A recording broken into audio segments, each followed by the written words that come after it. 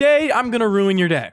How am I gonna ruin your day, you might ask? Well, there's this nice little cool gun called the K7. Go to attachments, go to barrel.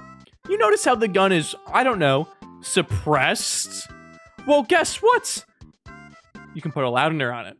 This has a suppressor by default, meaning that the StyLiS devs deliberately made this. Corny, well, how does this thing sound?